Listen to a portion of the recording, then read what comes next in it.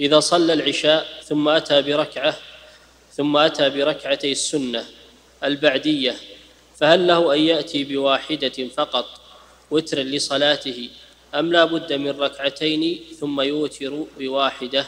إذا أوتر بواحدة يكفي لكن أدنى الكمال أن يوتر بثلاث هذا أدنى الكمال. المجزي ركعة واحدة وأدنى الكمال ثلاث وأعلى الكمال إحدى عشرة أو ثلاثة عشرة. نعم